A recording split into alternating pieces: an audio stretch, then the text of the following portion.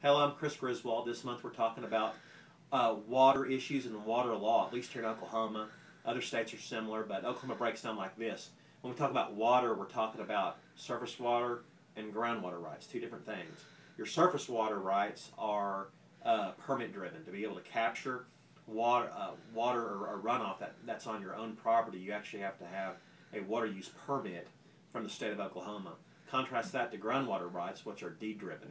You buy property, the deed comes comes with the actual groundwater rights unless they've been previously conser- uh, reserved or conveyed to somebody else in another deed prior to you buying it. Uh, right now, in, in, in, the state of Oklahoma, you can still sever, uh, you can separately sell your groundwater rights uh, separate apart from your other rights, like your surface rights, your air rights, your wind rights to the property, your other mineral rights.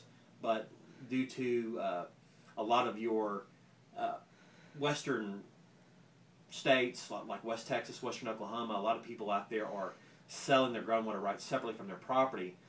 There's a lot of thought and theory that that's going to negatively affect our, our agricultural industry. So the legislature, at least here in Oklahoma, might change that, this legislature, to make groundwater rights unseverable or inalienable from the rest of your real property. And that's an update on water law. Thanks.